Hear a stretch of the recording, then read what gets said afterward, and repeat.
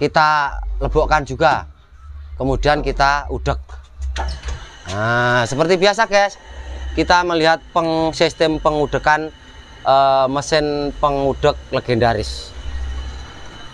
Isto elek bene guys yang pentingnya kena meringankan beban pekerjaan. Lagi anggitmu iki anggitmu isinya 50 kilo guys iki guys total tadi guys. Ngudek karo tangan berat sempol. Eh iya toh? Nah kita aduk-aduk dulu supaya bahan keringnya tadi itu uh, apa jenenge bercampur. Kemudian nanti kita kasih air tapi secukupnya guys. Kalau untuk 50 kg ini uh, tidak habis per satu makan itu kita uh, elongi huh? atau kita sudo. Tergantung kebutuhan bebek kita guys. Oke guys selanjutnya kita mengetutkan dari belakang. Kita mau cek timbang sebelum dikasih pakan. Ya kita tumpangkan di sini saja.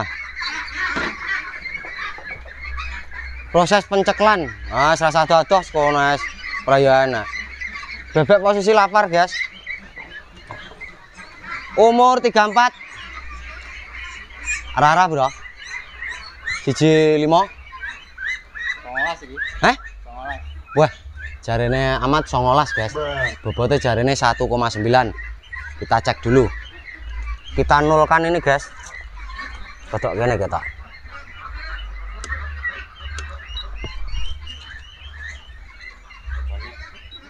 oke nol. Pakannya ketoknya masuk. Ya biasa pengganan kandang kok kena telek piye tuh jane hmm. Neng kantor ceklane pulpen yo ora kena telek to Nah, BK kena telek tak kemreneng biasa. Awak dhewe penggane ndusur-ndusur yang telekan. Oke, kita cek. Nimbang bro engko? Karo rodok sing karo rodok sing cilik berarti. Oke, kita tumpangkan. Wah, ternyata umur 34 2,1 guys.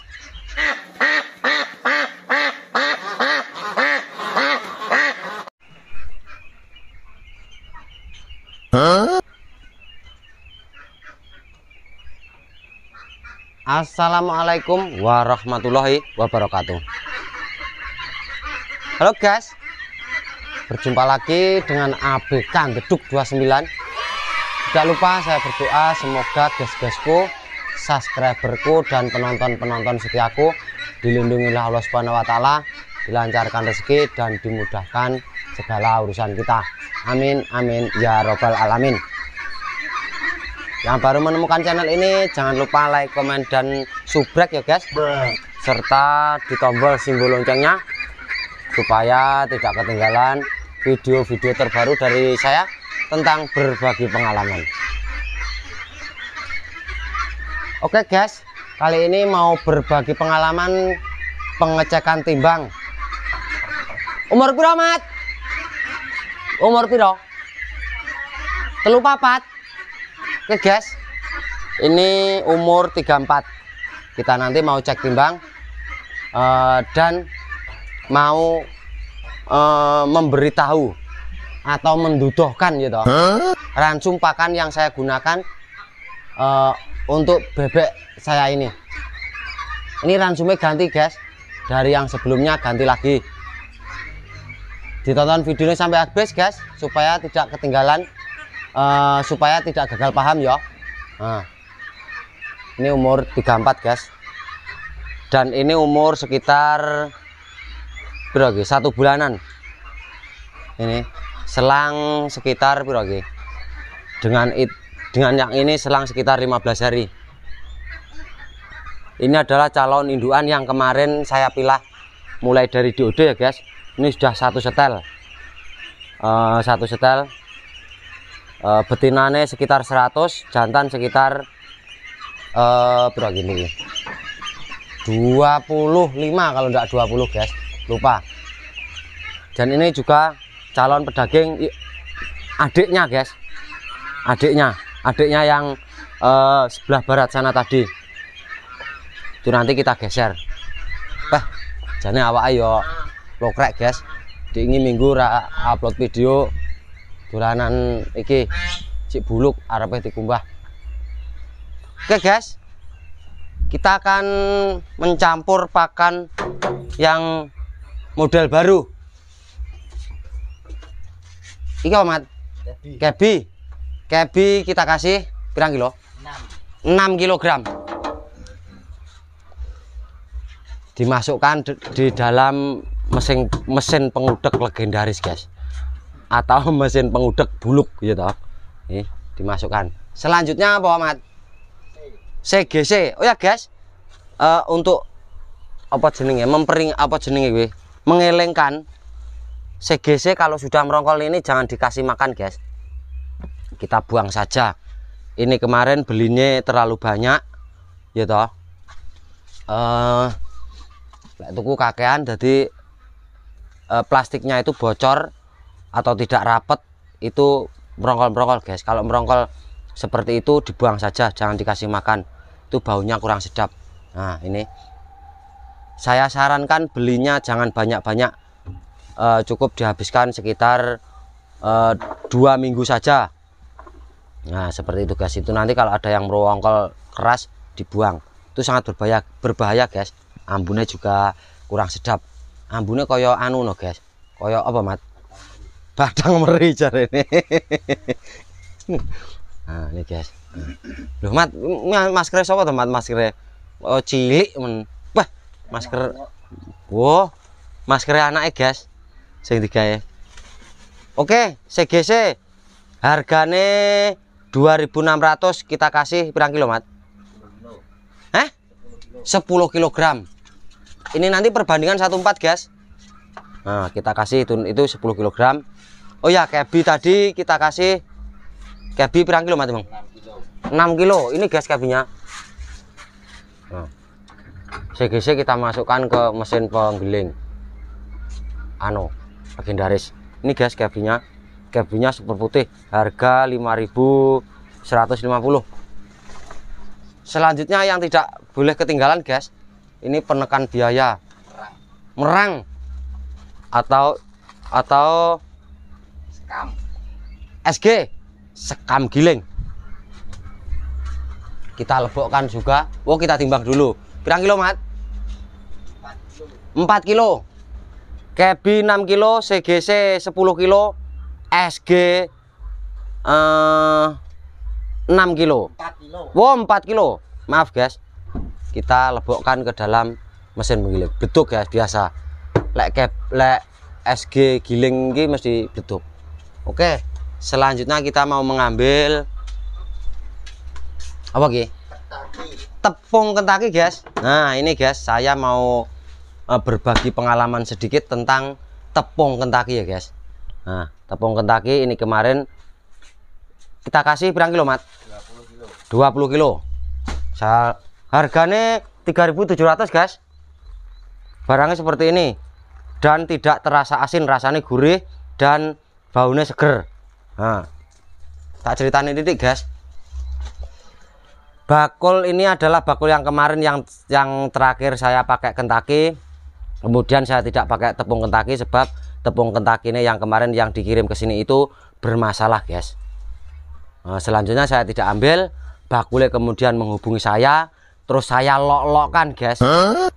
ya toh saya komplain lah. Bahasa Indonesia ini saya komplain kalau kentak ini kurang bagus terus e, berakibat banyak kematian di bebek saya. Itu ternyata tepung kentakinya banyak yang e, mengandung asin guys.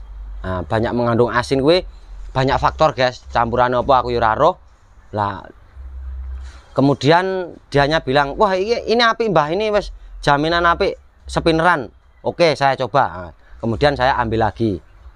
Ambil lagi sekitar 5 kental kemarin. Kita coba. Ternyata BBE aman guys. Pokoknya tepung kentaki kalau banyak yang coklat itu selama rasanya tidak asin itu anu guys aman. Dan yang berbahaya itu ternyata tepung kentaki yang berwarna putih guys. Sebab tepung kentaki berwarna putih itu saya tidak perlu menjelaskan prosesnya itu bagaimana. Itu pasti ada daging-daging yang ketinggalan di situ kemudian busuk.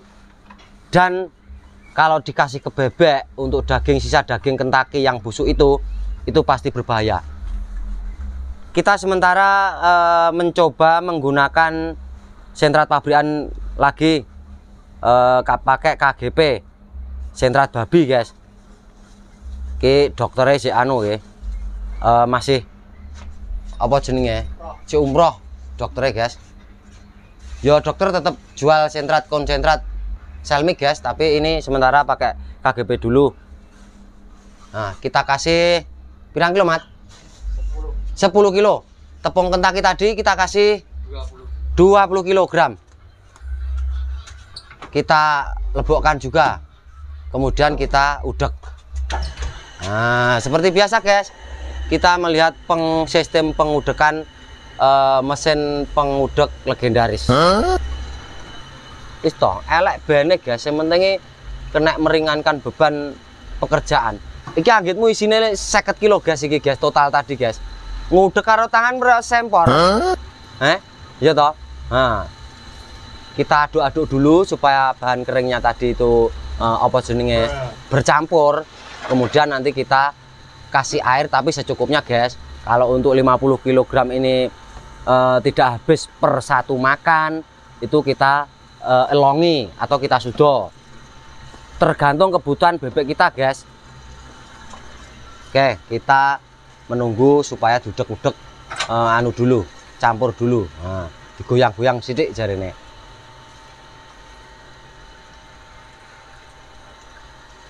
ya mat? Wah, ternyata 50 kg tidak dilongi guys. Tidak disudo. Ini semua dikasih air guys. Nah kita lihat seperti itu. Bahan-bahannya tadi ya guys. Aja sampai lali. Tapi ya ora perlu diterok nih ndak ndak perlu ditirukan. Sebab ini uh, hanya eksperimen saja. Ketemu harga per kilo 4.950 masih di bawah 5.000 perbandingan 14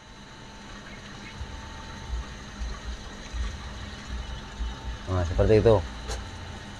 Kita aduk-aduk dulu sampai bener-bener bisa dikepal-kepal pakai tangan guys.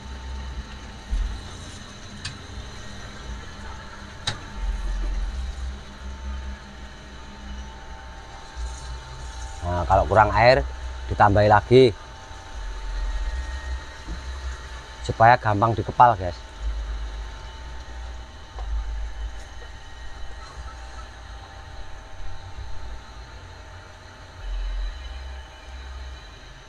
Nah disok guys. Disok seperti itu.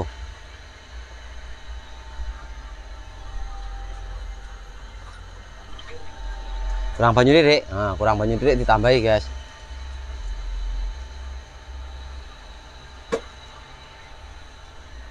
kita nanti cek timbang pakai timbangan ini guys. Timbangannya gantung amoh hujan. Ini podoa ini juga akurat kok guys. Koma-komanya juga uh, kelihatan ini. Cek timbangnya sebelum dikasih pakan. Nah, seperti itu guys. Nah, saya lah seperti ini guys. Nah saya seperti ini di kepal nah, tapi masih mengumpal nah disosor biar penak guys. Nah oke. okay. Dibagi dua. Itu nanti sudah ditakar dengan yang kecil-kecil. Sekalian satu angkut satu gerobak satu arko guys.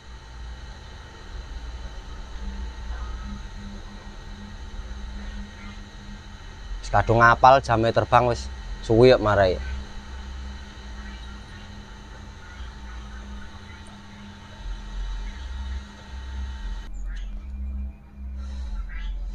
oke guys didadekne tolong bak Loh, nyapa mau gua rambut Jepang? Yo kari no. Yo iki. Mau kari. Oke. Kita cangkeng Oke guys, selanjutnya kita mengetutkan dari belakang. Kita mau cek timbang sebelum dikasih pakan. Ya, kita tumpangkan di sini saja. Proses penceklan, nah, salah satu atas kones Prayana. Bebek posisi lapar, guys. Umur 34. Rara, Bro. Siji lima. Songolas. Eh? Songolas. Wah, jarene amat 19, guys. Bobotnya jarene 1,9. Kita cek dulu. Kita nolkan ini, guys. Kodok gini kita.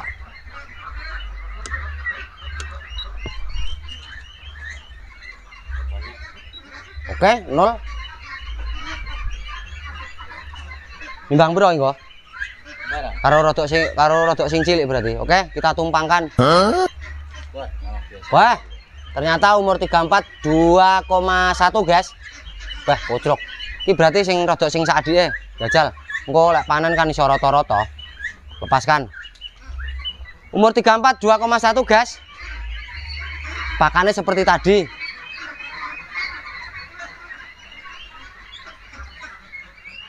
Berarti sing sak ngisore, Mat. Kok sing sekiranya masuk didol, kok sing ora masuk kan disoter. Masuk aja ya pakane. Pakane ketoknya masuk.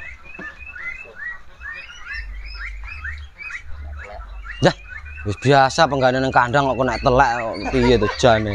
Hmm. Gue nang kantor ceklane pulpen yo ora kena telek to. Nah, BK kena telek kok tak kembreneng biasa. Awak dhewe penggane ndusur-ndusur yang telekan. Oke, kita cek timbang lagi yang adiknya. Satu tujuh. Wes, lepas. Bahkan. Oke, guys. Ya antara mungkin yang kecil 15 lah.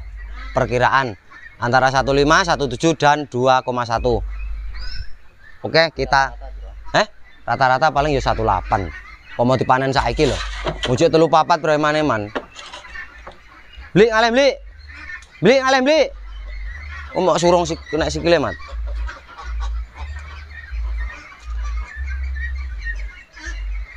Kita kasih makan, guys.